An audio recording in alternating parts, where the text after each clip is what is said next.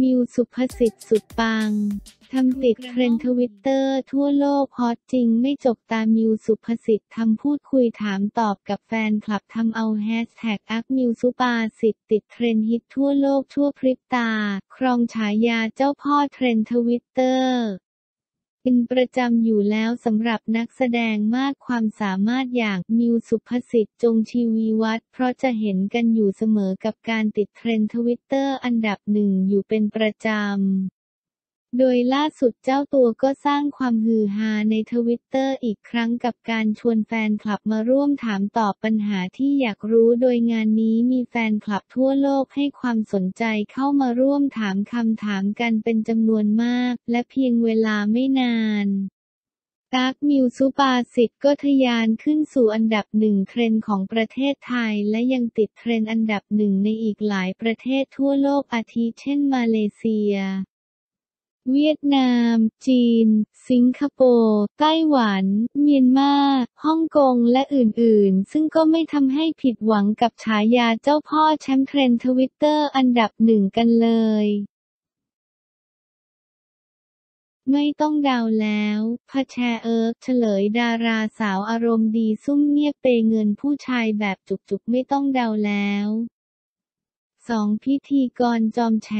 พะแชเอิร์กเฉลยดาราสาวอารมณ์ดีซุ่มเงียบเปย์เงินผู้ชายแบบจุกๆ คือซานินิภาภรณ์บอกได้คำเดียวเธอสวยและรวยมากหลังจากเพจเจ๊มอย 108 แอบเมาท์เรื่องราวลับสนานวงการบันเทิง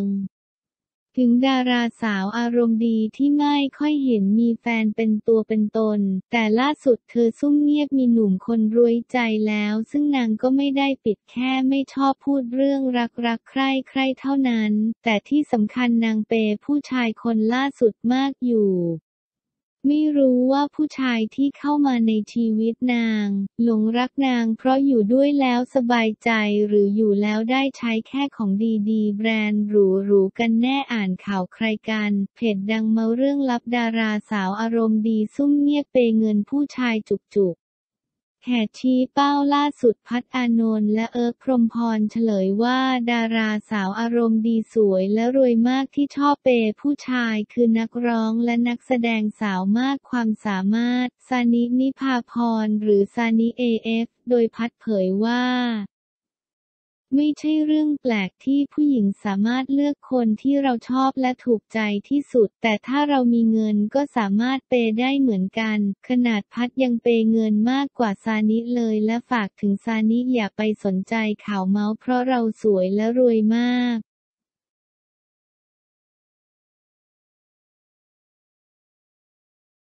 พร้อมกันนี้พัดยังแอบถามอีกว่าใช่เด็กในสังกัดตนเองหรือเปล่า ซึ่งซานิตอบเสียงแข็งบอกไม่ใช่ไม่ใช่ แต่หนุ่มคนรวยใจคนใหม่จะเป็นใครนั้น ต้องรอฟังคำตอบจากปากซานิอีกทีคลิปดูคลิกข่าวเมาท์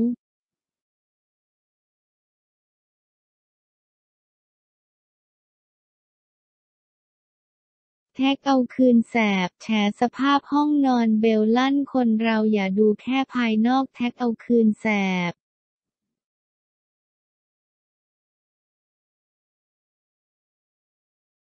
แฉสภาพห้องนอนเบลล์เต็มไปด้วยความรกหลังจากที่เคยโดนแฉเรื่องถอดกางเกงเกลื่อนกล้าแท็คเอาคืนแสบ ชีวิตคู่มีครบรสจริง ๆสำหรับสำหรับครอบครัวของแท็คภรัณยูกับภรรยาเบลอดีราเองตระกูล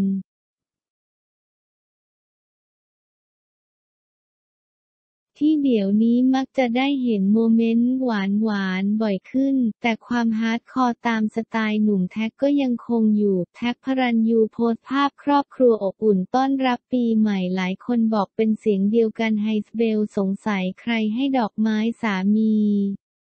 อืมโป๊ที่แท้แท็คเซอร์ไพรส์ครบรอบแต่งงานอากาศหนาวแท็คภรัณยูกอดเมียโชว์เสียงเชียร์ดังให้มีลูกเพิ่มเนื่องจากก่อนหน้านี้เจ้าตัวเคยโดนคุณสีภรรยาได้แกงพฤติกรรมคุณสามี โดยเอาภาพกางเกง ที่ถูกถอดเกลื่อนกลาดกระจัดกระจายไม่ลงตะกร้า มาแฉสามีว่าตะกร้าไม่เคยได้ทำหน้าที่ของมัน ล่าสุดเจ้าตัวเลยแกงคุณภรรยากลับโดยโพสภาพห้องนอนสุดรกรุงรัง พร้อมระบุว่า โอ้เยยตายแล้วแล้วชีวิตจริงห้องผู้หญิงห้องผู้ชายหือหือหือหือหือหือหือหือหือคนเราอย่าดูแค่ภายนอก เชื่อเหอะห้องผู้หญิง 90%เป็นแบบนี้จริงไหม 5,555 ลองเข้าไปดูตอนไม่ได้ตั้งตัวหรือดูในรถได้ลองไปเช็คดูนะหนุ่มหนุ่มหนุ่มหนุ่มนี้ยังไม่รวมตัวเครื่องแป้งนะผู้หญิงมีอะไรที่ผู้ชายไม่เข้าใจอีกเยอะเครื่องหมายสี่เหลี่ยมแกงมาแกงกลับหนึ่งว่าโจรขึ้นโบอ่านด้านสาวเบลก็รีบแก้ต่างทันทีว่า พ่อ ปันนั้นมันห้องเก่า อย่ามาล่า ห้องเก็บของงงงงงต่างหากกบกอ เรียกได้ว่าแกงมาแกงกลับมาโกงจริง ๆ เพราะก่อนหน้านี้สาวเบลก็ได้เอาไว้ไม่แพ้กัน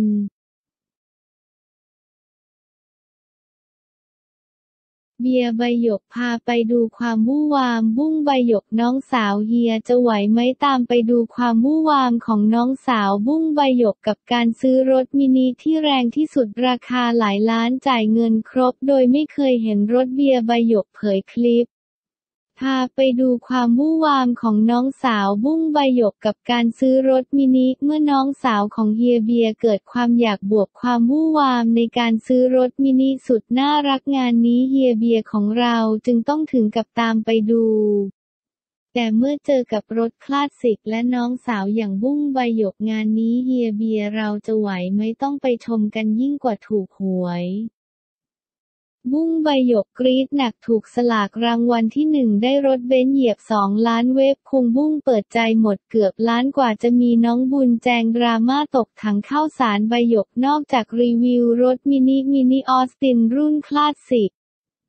ที่จอดเรียงรายหลายคันเบียร์ใบหยกออกตัวไม่มีความรู้เรื่องรถมินินำรถมินิมารีวิว พร้อมบอกว่าจะพาไปดูความวู่วามของบุ้งใบหยกน้องสาวไปซื้อรถและจะไปรับรถที่ศูนย์มินิบางนา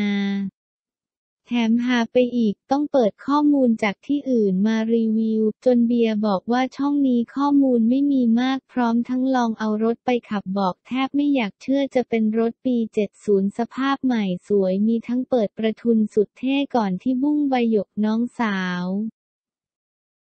จ้าของรถตัวจริงจะมารีวิวรถมินิรถในฝันที่จอดเรียงราย พร้อมเว็บสารินสามีรถแต่งสวยแต่งตามโมเดลรถมินิของเล่นพี่ชายคอยแกล้งน้องสาวทั้งแกล้งเขย่ารถต่างๆ นานาน้องสาวก็ร้องเสียงหลงด้วยความเป็นห่วงรถ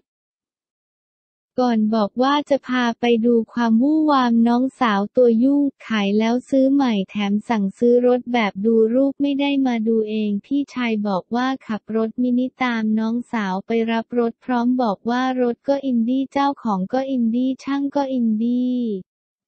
คอนเซปต์รถคลาสสิกตัวเองไม่ค่อยอิน แต่พอมาขับแล้วรู้สึกมีเสน่ห์บุ้งบอกว่าเห็นแล้วสวยชอบมาตั้งแต่มัธยมแล้ว ก่อนไปถึงศูนย์มินิพี่ชายบอกมาดูความวู่วามน้องสาวไม่เคยมาที่ศูนย์แล้วซื้อรถได้ยังไง น้องบอกเขาส่งรูปให้ดูไม่ต้องมาดูรถซื้อเลย Mini Clubman John Cooper Works แรงที่สุดในรถมินิแล้วแถมสี Midnight Black สีหายากจ่ายเงินครบเพิ่งมาเห็นรถครั้งแรก สายมูตัวจริงต้องทำพิธีรับมอบรถบุ้งชอบรถมินิขับได้ด้วยแต่งบ้านสวยด้วยและมีคุณค่าทางจิตใจ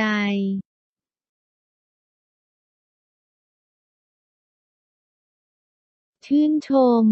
กัมพัชราภาช่วยเหลืออาต้อไกรศรีดาราอาวุโสป่วยไม่มีรายได้อ้ำพัชราภาเข้าช่วยเหลืออาต้อไกรศรีแก้ววิมลดาราอาวุโสที่เคยร่วมงานกันหลังเจ้าตัวป่วยหลายโรคและไม่มีรายได้ นับเป็นอีกหนึ่งดาราใจบุญของวงการบันเทิงไทยเลยก็ว่าได้สำหรับซุปตาตัวแม่อ้ำพัชราภาชัยเชื้อหลังล่าสุดได้มีการโพสต์ลงบนสื่อโซเชียลของตัวเองว่าได้ส่งตัวแทนเข้าช่วยเหลือดาราอาวุโส ไกรศรีแก้ววิมลที่เคยร่วมงานกันหลังจากดาราท่านนี้ได้ทำการติดต่อเข้ามาว่าตนเองป่วยทั้งโรคหัวใจ ความดันโลหิตและอีกหลายหลายโรคอีกทั้งยังเดินไม่สะดวกและรายได้มีแค่ช่องทางเดียวคือ เบี้ยยังชีพผู้สูงอายุเดือนละ 700 บาทบางวันก็อาศัยข้าววัดกิน ซึ่งใจความเต็มเต็มมีดังนี้วันนี้อ้ำพัชราภา ได้ส่งพี่เต้และหญิงมาเป็นตัวแทนของพี่อ้ำเพื่อมาเยี่ยมและมอบเงินให้อาต้อ นักแสดงอาวุโสที่เคยร่วมงานกับพี่อ้ำเรื่องกุหลาบเหนือเมฆไว้เป็นค่าใช้จ่ายที่จำเป็นค่ะ เนื่องจากเมื่อวันที่ 15 มกราคม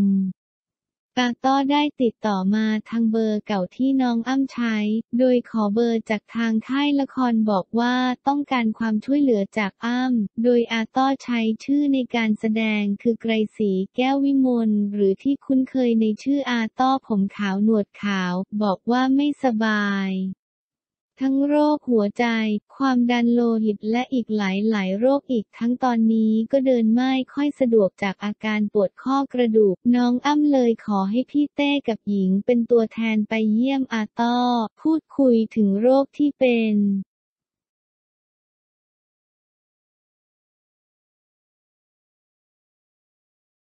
การกินการอยู่รวมถึงเวลาอาต้อไปหาหมอ และได้พูดคุยถึงครอบครัวและลูกอีกด้วยประมาณหนึ่ง แต่ตอนนี้อาต้อได้มาอาศัยอยู่ในอู่ซ่อมรถที่เจ้าของได้แบ่งห้องพักของช่างให้อยู่ บางวันก็อาศัยข้าววัดกิน บางวันคนที่อยู่แถวนั้นก็แบ่งปันอาหารให้กินด้วย แต่อาต้อจะลำบากเวลาขึ้นลงจากห้องพัก เพราะอาต้อพักชั้นสองข้างล่างเป็นใต้ถุนปัจจุบันอาต้อมีแค่รายได้จากเบี้ยยังชีพผู้สูงอายุ เดือนละ 700 บาท อาต้อขอให้พวกเราช่วยลงข้อความและคลิปนี้ให้หลายๆคนทราบ เผื่อจะมีใครที่เคยร่วมงานกับอาต้อ หรือท่านอื่นๆ ที่ต้องการช่วยเหลือ รวมถึงรายการต่างๆ ก็ติดต่อมาหาอาต้อได้เลยนะคะ โดยติดต่อทาง Direct Message หรือข้อความในไอจี แต่เอต่อขีดล่างพาราดาคุณเต้ได้เลยนะคะ แล้วจะให้เบอร์ติดต่อกับคุณอาต้อค่ะ พวกเราขอให้อาต้อหายป่วยเร็วๆ สุขภาพร่างกายแข็งแรงนะคะ